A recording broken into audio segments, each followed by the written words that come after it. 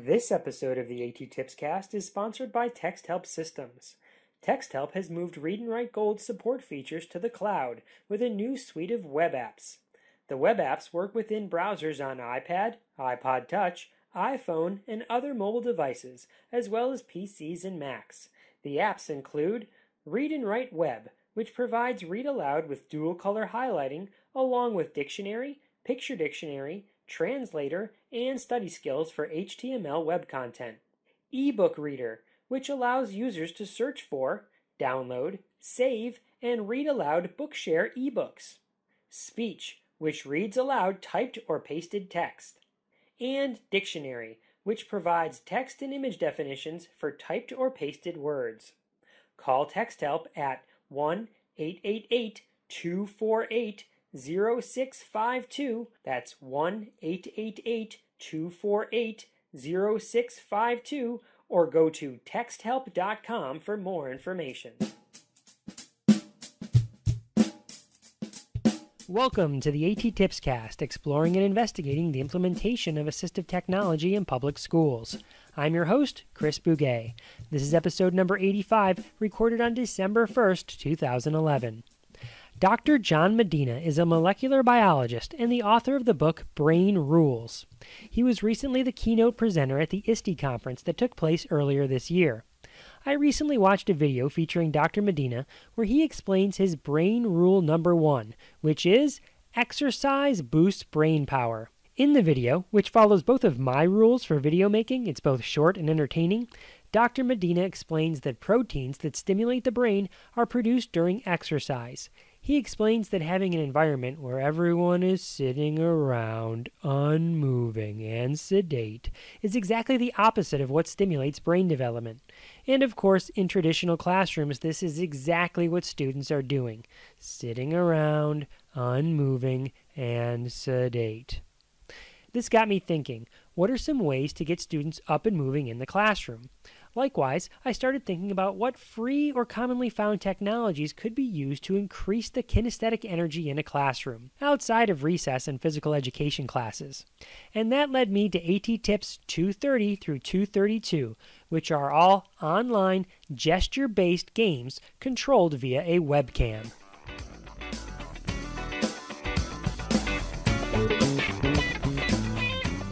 Before I dive in describing these different games, I thought it might be a good idea to describe the setup.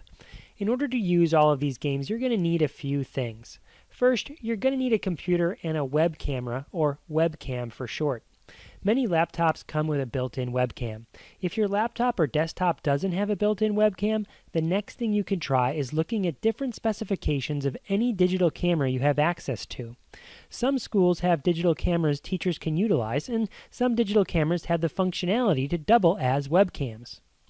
Look up the model online, check out the manual for the camera, and see if you can get it to work. If all else fails, you could buy a plug and play web camera. If you don't have one, they're relatively inexpensive. You can usually find a quality webcam for under $20. If you're not familiar with the term plug and play, it just means that it doesn't require any software to run. Once your webcam is set up, you're good to go. Well, sorta. Most of these websites require Flash or Microsoft Silverlight in order to run. If you're not sure what that is or what those are, don't worry about it. Just try the website out and see if it works. In some instances, depending on the type of computer you're using, you might get a pop up message asking you if you would like to allow the website to utilize your webcam. You're going to have to click Allow in order for the games to work. Once you've done that, you're good to go. Now, let's get our bodies moving. AT tip number 230 is one of the games from the website of one of my family's favorite television shows, Wild Kratts.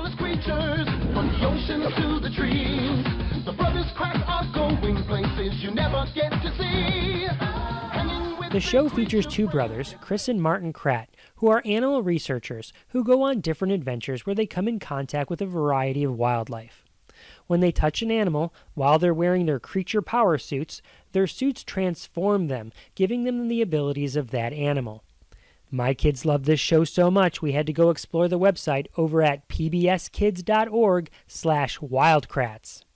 While there, they played all the different animal adventure games, and one of them, Caracal Leap, allows the user an option to utilize a webcam to control the caracal. Which is sort of like a mountain lion, in case you were wondering.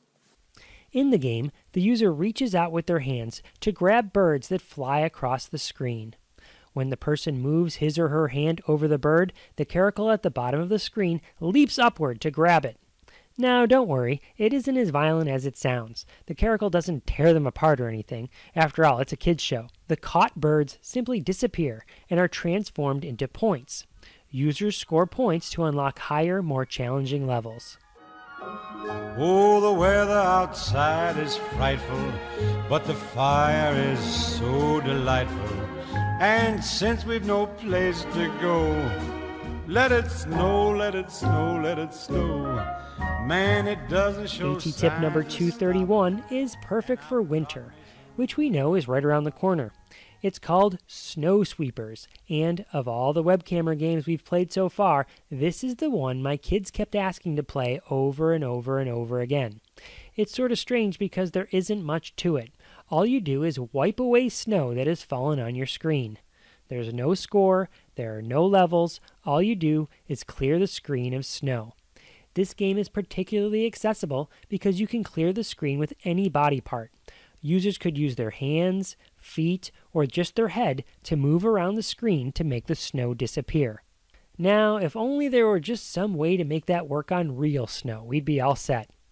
The Snow Sweeper game can be found at bit.ly slash snowsweeper. The Snow Sweeper game is actually just one of a few other games that you'll find over at AT-tip number 232, playdocam.com. PlayDoCam.com has two other web games beyond Snowsweeper. Iconoid is like the old school breakout game where you control two slider bars, one with each of your hands, to redirect a ball, or if you hit the right combination, multiple balls, in order to destroy bricks on the wall. Iconoid is a bit hard to control and might require some practice to get used to, but the other game on the site is loads of fun. It's called Play Do Jam, and it's a version of basketball played via webcam.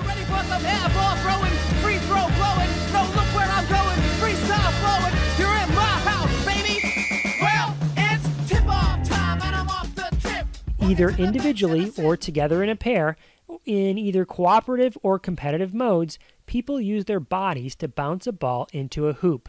Users can headbutt the ball, hit it with their hands, or really any body part, just like with Snow Sweeper.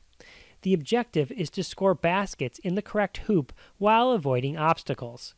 Because of the different modes of play, you can have teams of students participate in a tournament, communicate ideas for strategy and passing, and work together to outscore their friends.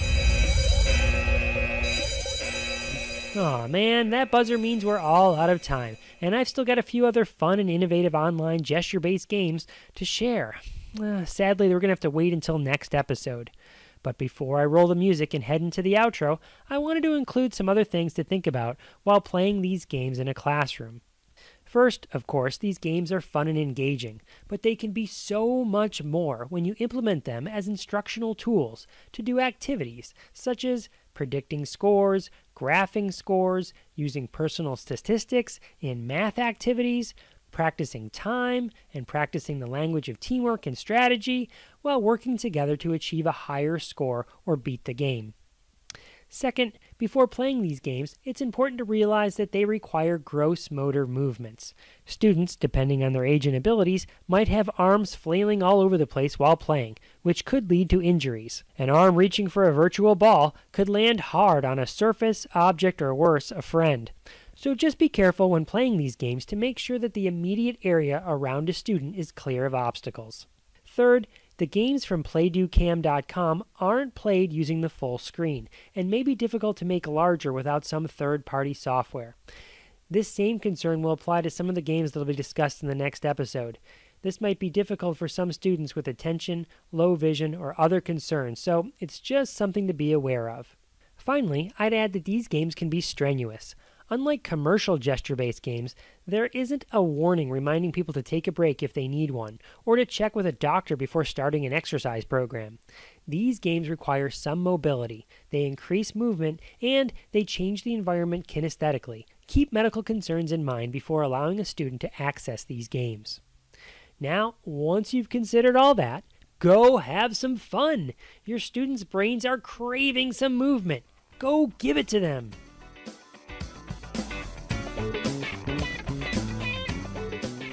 You'd like to watch the video starring Dr. Medina, where he describes exercise as a brain rule, I'll have it listed over at the blog attipscast.wordpress.com. Likewise, I have screenshots I took of myself and my own kids playing these games posted on the blog as well. I think the screenshots will give you a good visual representation of what each game is all about. I think you'll see that your students will be engaged in gross motor activities that will stimulate their brains in such a way that they'll truly be active learners. Before I end the show, I wanted to remind everyone that I'll be at the VSTE conference next week. So if you're a listener to the show, or if you've read the Practical and Fun Guide to Assistive Technology in Public Schools, and you're going to be at the VSTE conference, you've got to hunt me down so we can connect. I'd love to meet you. Until next time, may all your interventions be inclusive, may all your strategies be supportive, and may you listen to all your podcasts while building up a sweat.